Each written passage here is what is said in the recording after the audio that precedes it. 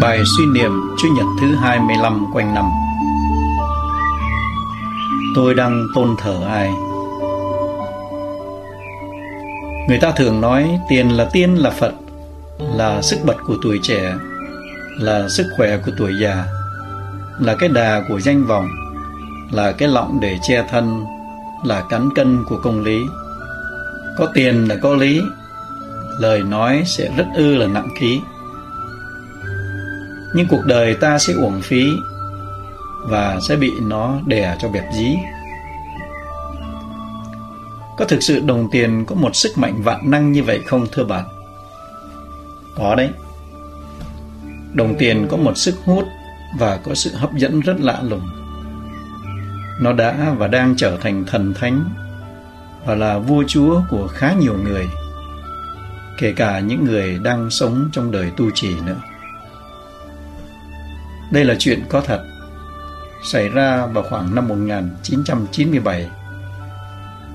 Vào dòng tu, thầy Joseph được bề trên và anh em thương mến vì tính tình hiền hòa, vui vẻ, chịu khó và đạo đức. Sau 3 năm bề trên tín nhiệm và giao cho thầy công việc quản lý tài sản của nhà dòng. Thầy lại có chút kiến thức về kinh doanh và thầy biết làm thế nào để cho tiền đẻ ra tiền. Thầy mua bán cổ phiếu, đầu tư vào chỗ này chỗ nọ cho nhà dòng.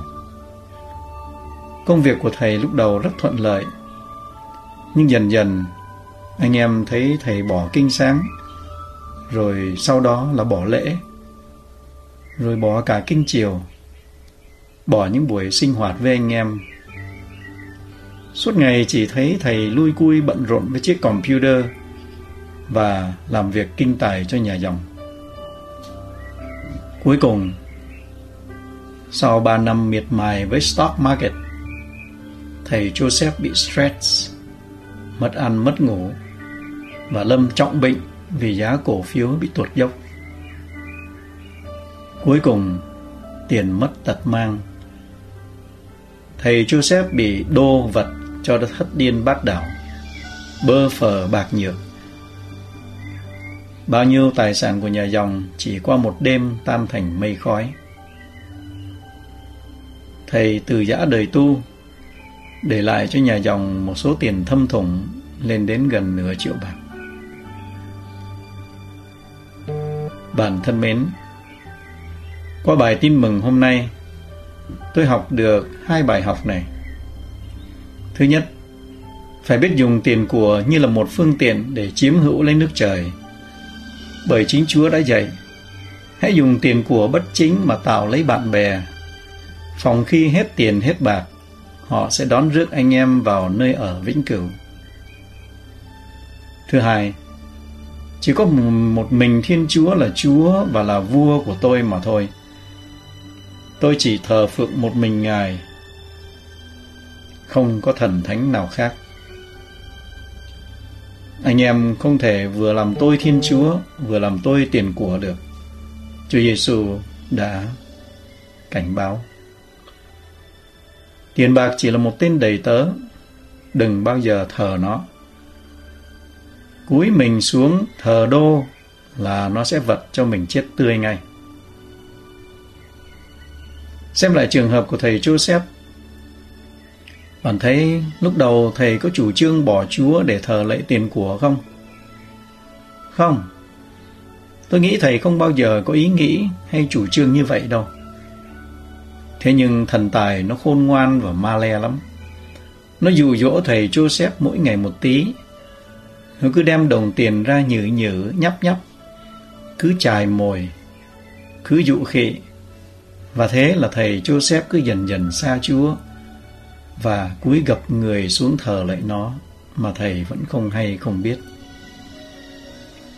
Và đến khi thầy phát hiện ra rằng mình đang là nô lệ của tiền tài, danh vọng và của cải vật chất thì đã quá muộn.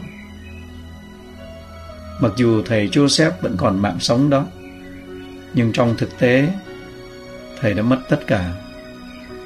Mất niềm tin, mất lòng đạo đức, mất hạnh phúc, mất ơn gọi. Và tôi e rằng thầy còn mất nhiều thứ khác nữa kìa.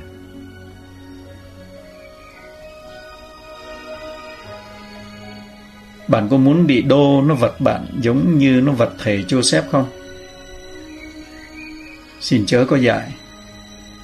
Tiền là một ông chủ rất ác độc và tàn nhẫn. Nó không có lòng thương xót chút nào đâu.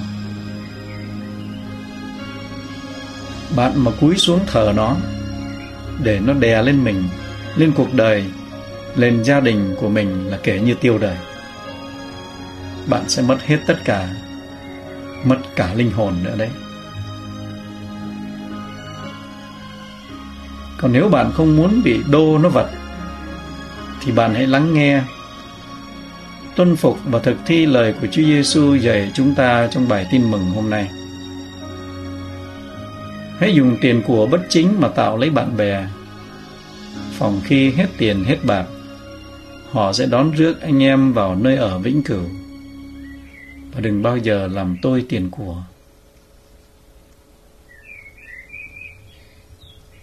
Hãy dùng tiền của bất chính mà tạo lấy bạn bè bằng cách làm việc bác ái, giúp đỡ, bố thí, ra tay cứu giúp trẻ mồ côi, nạn nhân của thiên tai bão lụt, những người kém may mắn, những người bất hạnh và nghèo khó hơn mình. Đến thăm viếng và an ủi những người già lão, bệnh tật ở tư gia, ở bệnh viện hoặc trong các nhà dưỡng lão, vân vân và vân vân. Đừng bao giờ làm tôi tiền của, nhưng xin hãy rộng rãi quảng đài trong việc giúp đỡ tài chánh cho những dòng tu, cho những công việc truyền giáo, cho việc bảo trì, xây dựng giáo xứ, cộng đoàn mà bạn đang sinh hoạt.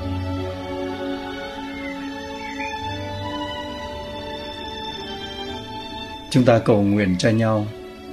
Xin Chúa ban cho chúng mình ơn khôn ngoan để bạn và tôi biết kiếm tiền một cách chính đáng luôn sử dụng tiền của vào những việc mang lại lợi ích cho chính mình và cho tha nhân và nhất là chỉ tôn thờ một mình thiên chúa chứ không bao giờ tôn thờ tiền của. Amen.